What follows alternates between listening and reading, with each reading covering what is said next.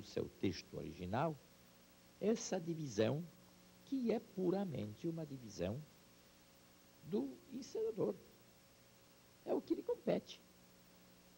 Então, para solucionar várias coisas, que inclusive no primeiro cro croqui do Santa Rosa, que eu vi nas mãos do Abadi Faria Rosa, um croqui de um cenário simultâneo realista, eu propus ao Santa seguir a mesma linha expressionista e fazer o cenário completamente abstrato e real, seguindo a linha dos três planos.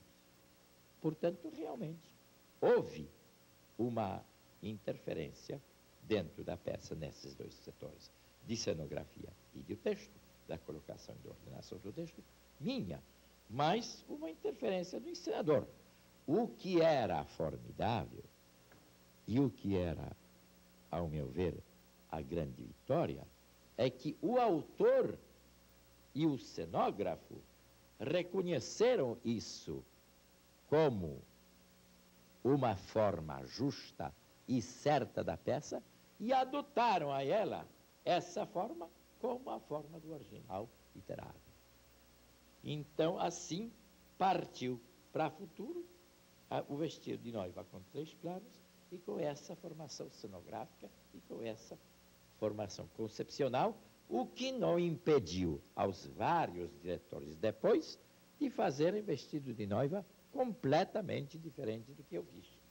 No entanto, agora, quando voltamos, depois de 32 anos, a reprisar a original versão do vestido de noiva, que foi responsável realmente pelo movimento mais forte, primeiro mais forte do teatro brasileiro, fizemos ela exatamente como foi feita naquela época, com o cenário Santa Rosa proposto a ele por mim, com encenação minha daquela época, para inclusive fazer um exame de consciência dentro do teatro brasileiro, onde nós estávamos, onde estamos, para onde vamos e para onde podemos ir. Simbisky, uma coisa que sempre me impressionou em sua maneira de trabalhar é que você, sendo um cavalo trabalhador, ao mesmo tempo você mantinha uma espécie de ritmo brasileiro, devagar, na manha. Será que você apreendeu isso observando o nosso samba, a nossa capoeira? Eu sou sempre muito manioso, porque eu acho que a vontade e a força de trabalhar não tem nada a ver com o temperamento pessoal. A gente pode trabalhar de uma maneira mais séria, mais exaustiva, mas sempre dentro desse trabalho deve existir o lugar para a gente, para ser humano, para temperamento particular. Se você sufoca o, com o trabalho o humano do Criador, você sufoca o Criador. Portanto, quando eu sou divertido, quando eu sou manioso, quando eu sou ritmado, quando eu sou, eh, como ele diz, proveniente do samba, aliás, a qual dediquei início da minha estadia aqui, porque eu era diretor do show do Cassino, do Cassino Atlântico, e fazia realmente samba, e lancei vários sambistas, e vários cantores, várias coisas. E até hoje, hoje que estou começando de novo a tentar fazer letra, música e tudo mais. Se essa colocação de um homem, como ele diz, manhoso e ritmado e, e às vezes descansado, é um hiato do meu trabalho que me permita que o meu criador respire. Zimbinski, você como uma pessoa que veio de fora, que veio da Europa, eu gostaria que você estabelecesse um paralelo entre o teatro que você encontrou aqui no Brasil, quando da sua chegada, e o teatro que se faz agora, teatro esse que muito deve a você. Fernando, você me põe em cada enrascada, porque se você pede para eu dar essa diferença, esse eu... estão saindo livros por aqui escrevendo sobre isso. Como é que você quer que eu, em cinco minutos que eu tenho, três ou dois, responda a essa pergunta. É realmente praticamente impossível. Nós sabemos todo que o teatro que eu encontrei em 1941, 2, era um teatro mais para divertir, um teatro de duas sessões por noite, um teatro de comédias levezinhas, fazendo um grande astro, cercado de um elenco. Apesar de grandes tentativas, já naquela época existentes, de que se conscientize o teatro e leva para um outro tipo de repertório. O teatro hoje do Brasil é uma poderosa realidade, não quero dizer com isso que ele acertou o seu caminho. Não, ainda não.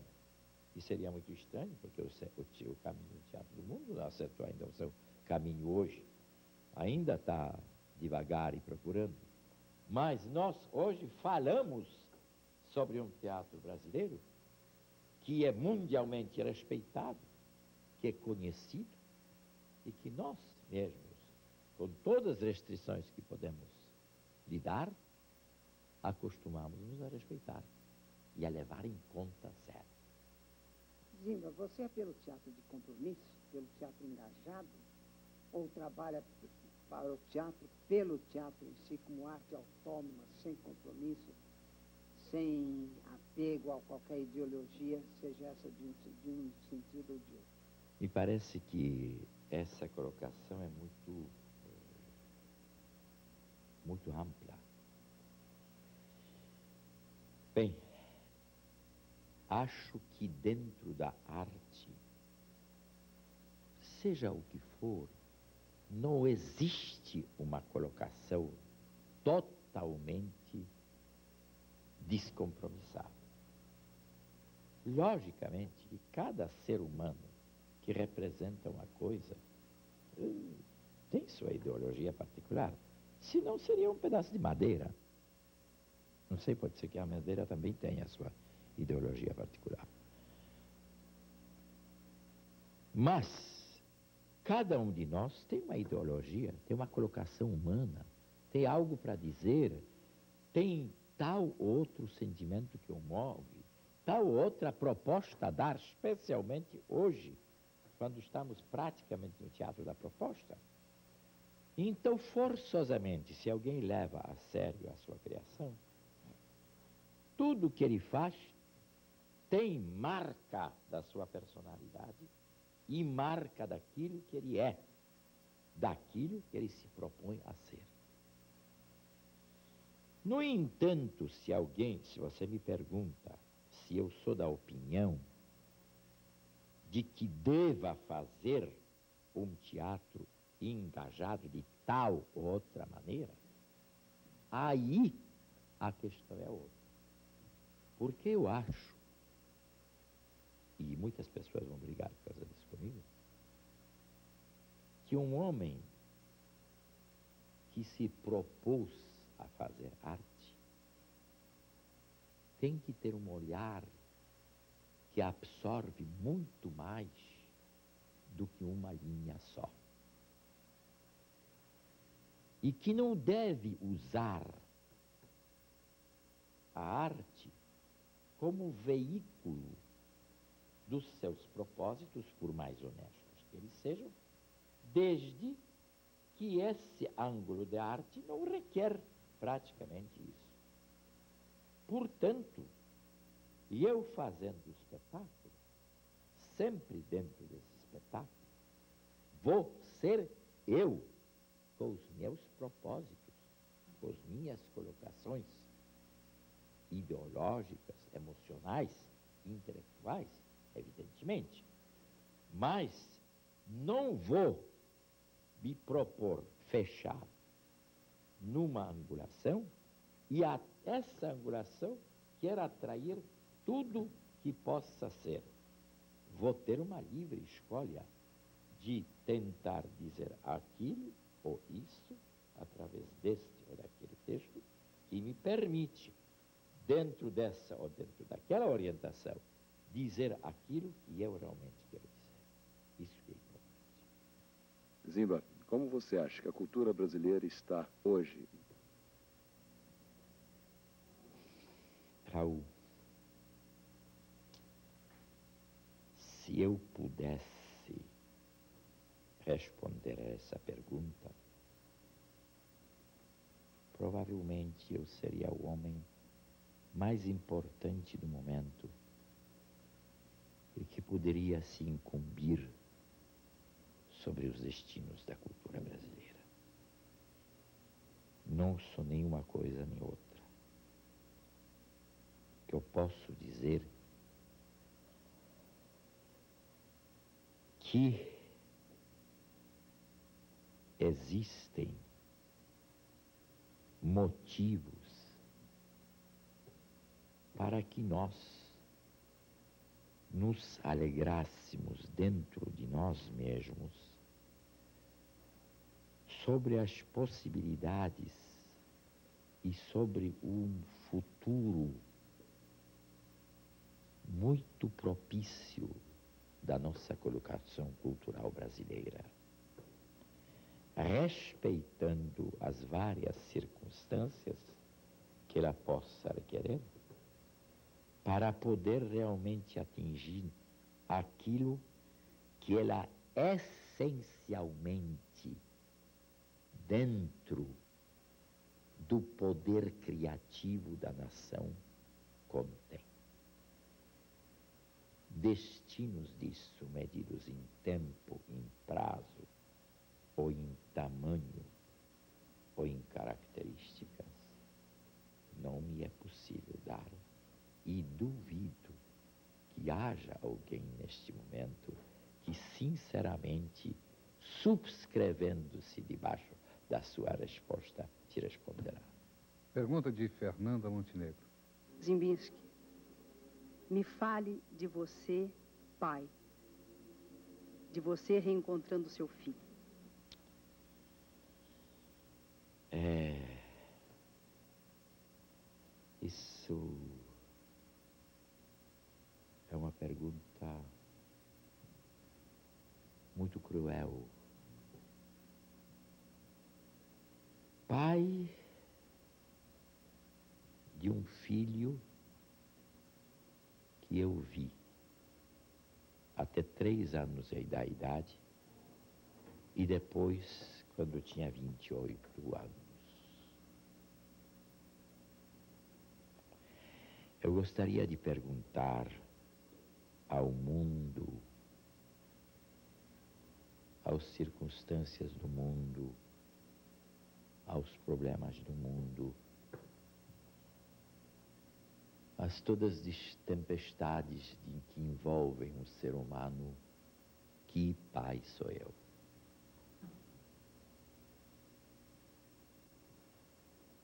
O que foi dado me fazer como ser humano para ser pai?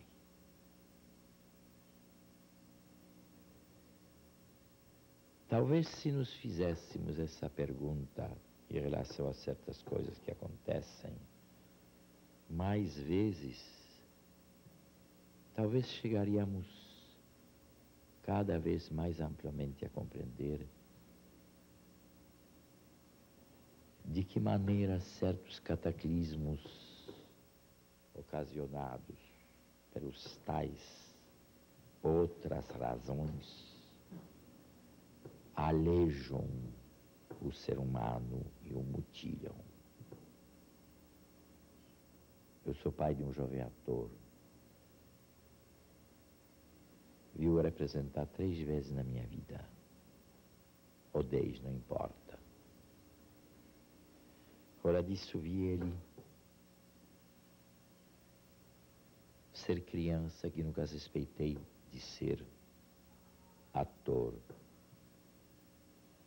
e as cartas que me vêm de outro lado da terra, o que que significam, além de escrito?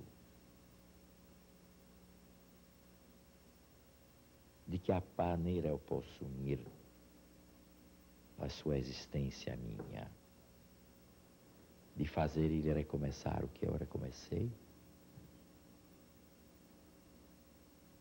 sujeitando, se fosse possível, ao risco a sua existência?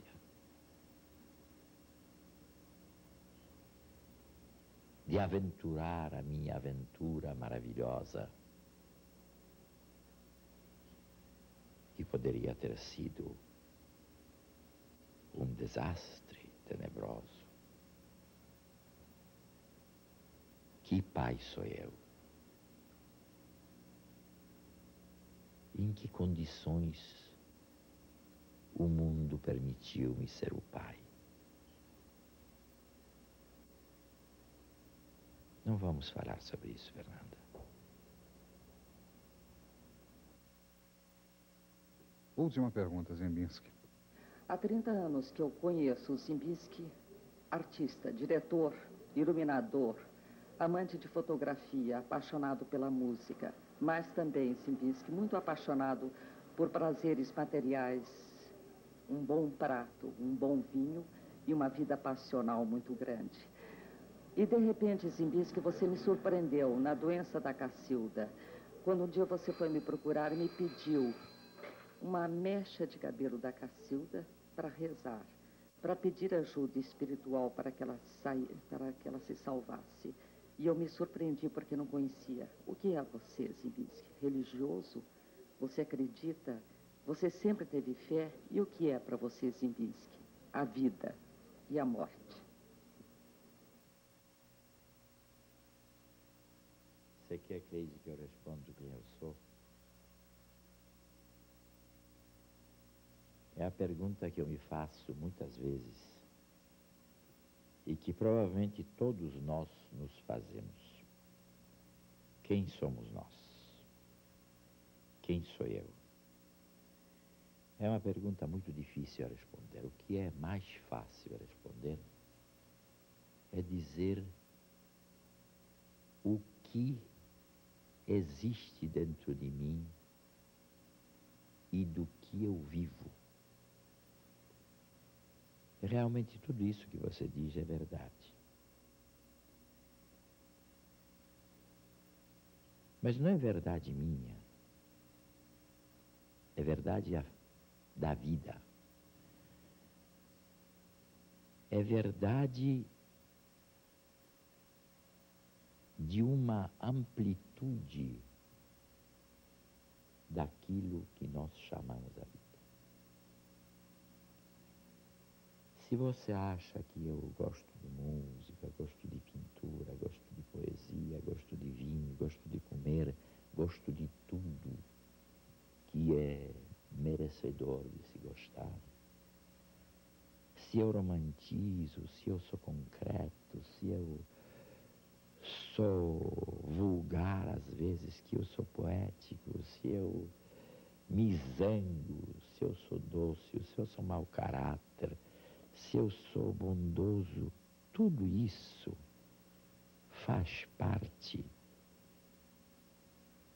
desse núcleo que é a vida. A questão é de se propor a viver, de se querer viver. Automaticamente aceitar com todos os S's e R's condições daquilo que é vida, os sintomas daquilo que é a vida, as suas características. Então, não quer dizer que assim alguém não se queixe da vida má, ou que se vanglorie da vida boa. Não é vantagem nenhuma nem outra. É a existência é muito mais valiosa, por pior que seja, do que a falta de existência. Falta de existência não é a morte. A morte é outra face da vida. Se não tivesse a morte, não teria vida. A morte é outra face tão aceitável como a vida. Se eu tenho vontade de morrer, não. Por quê? Porque tenho vontade de viver. Mas para eu viver, eu tenho que saber que eu vou morrer. O problema é aceitar a maturidade da morte. Chegar a ela em paz, consequente, sabendo que existe o fator que completa a vida, que é a minha morte.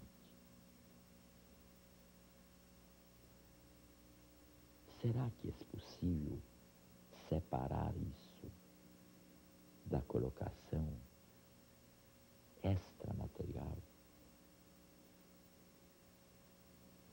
acreditar nas forças que nos levaram a existir? Que talvez são responsáveis pela nossa existência?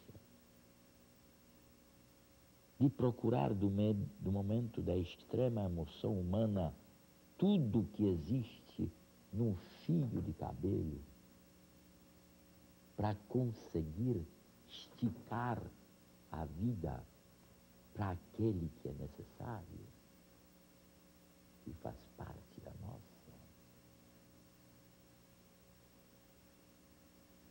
Isso não é misticismo. Isso não é religião. Isso não é crença. Tudo é crença. Nós cremos tanto em nós quanto em Deus, tanto na nossa arte quanto na nossa existência, tanto na nossa vida quanto na nossa morte. É um complô. É uma coisa que nos mantém em pé. Até que conseguimos ficar em pé. E se não conseguimos ficar em pé, não é desvantagem nenhuma. Porque voltamos ao âmago do problema. Como o universo se abre e se fecha em torno de si e se repetem os séculos de milhões de anos na sua transformação. Quem disse que nossa civilização é a primeira? Não sabemos disso. Quem disse que a minha vida é a primeira? Quem disse que a minha morte é a última? Não sou místico, não sou poeta, não sou devasso sou ser vivo e procurei viver.